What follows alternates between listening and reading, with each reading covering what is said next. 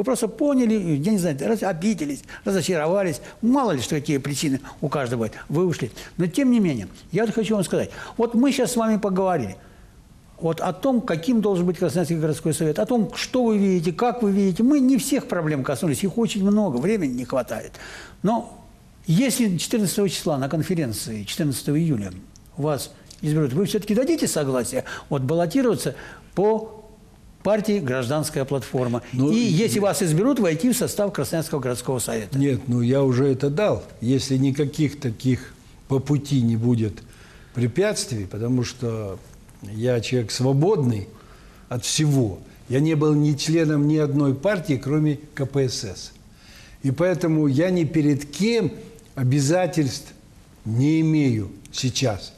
И э, вот если меня наймут жители Красноярского края. Хорошее слово да. наймут, да, это хорошее. А я нравится, считаю, да. что депутат да. не слуга. Да, так же, как это и госслужащий да. слуга. И президент говорит, что его наняли на работу. А да. меня здесь нанимают на работу, и наймут или нет, не знаю. И я требую при этом одно только требование. Если уж избрали, то уважайте, выслушивайте мое мнение, а не просто, э, так скажем, от него отмахиваться, что если меня как только изберут, до любого, так он уже и Забыл. с клеймом, да. с каким-то. То вора, то жулика, то еще чего-нибудь.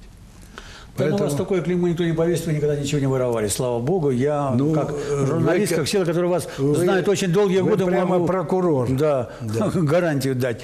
Я не об этом хочу сказать. Понимаете, я еще хотел задать вам один вопрос, который я, в принципе, задаю всем тем, с кем беседую накануне предстоящих выборов Красноярский городской совет. Вот мы уже с вами касались проблемы активности наших избирателей. А вот что сделать, чтобы ее поднять?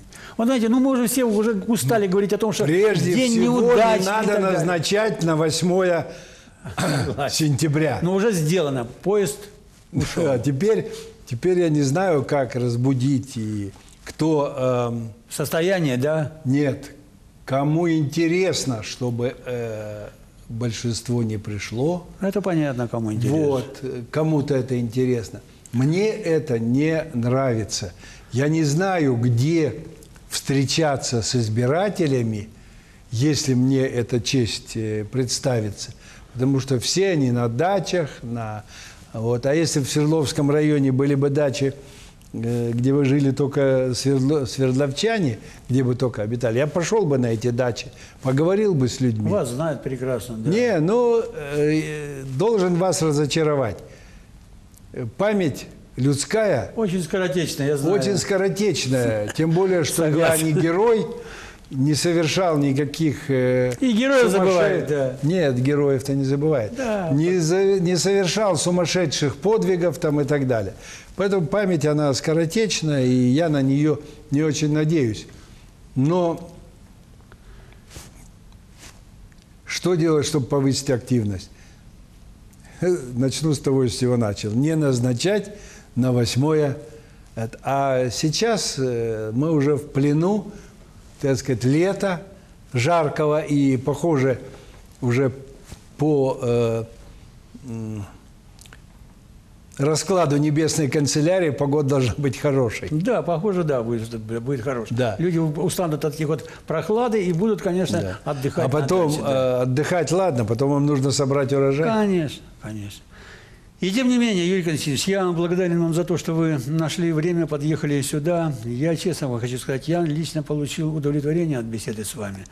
Потому что я э, вновь подчеркиваю то, с чего, в принципе, начал. Вы цельный человек, понимаете? Вы человек, который имеет свою точку зрения, имеет свои убеждения и доказывает их, и отстаивает их. Я вот именно это хотел, Вы между меня прочим... так хвалите, я... если все это попадет в это, так может вызвать отторжение. Скажет, договорились нет, два человека, нет. один другому проплатил, но я извиняюсь. Нет, нет, мы у нас вот руки здесь чистые, мы можем да. поднять.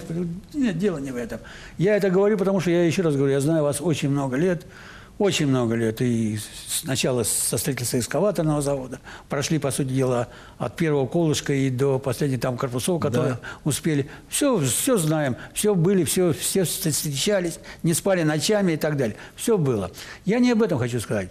Я хочу сказать о том, что вот я показал таким, какой вы есть. Я думаю, было бы время, я бы показал вас немножко бы еще более глубже и так далее. Но вы такой, какой вы есть. И я хотел бы, чтобы наши телезрители это увидели. И 8 сентября несмотря на неблагоприятное стечение обстоятельств, все-таки нашли, еще раз повторяю, 20, 30, 40 минут. Да, время И придут.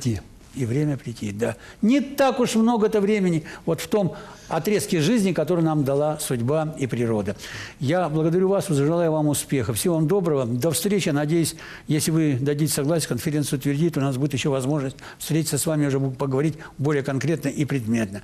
Я благодарю за внимание наших телезрителей. Я тоже надеюсь, что вы получили ну, какое-то удовлетворение от встречи с таким человеком, как Юрий Константинович Абакумов. По крайней мере, вы поняли, что в Красноярский городской совет идут не одни болтуны, а идут люди, за плечами у которых огромный практический стаж работы, люди, которые знают, как делать, что делать. И если они войдут в состав Красноярского городского совета, то кроме пользы, откровенно говоря, ничего не будет. Так что думайте, соображайте, участвуйте в предстоящих выборах, голосуйте, а за кого это, как говорится, на вашей совести. Всего вам доброго, берегите себя и до встречи в эфире. Телеканал «Центр», Красноярск.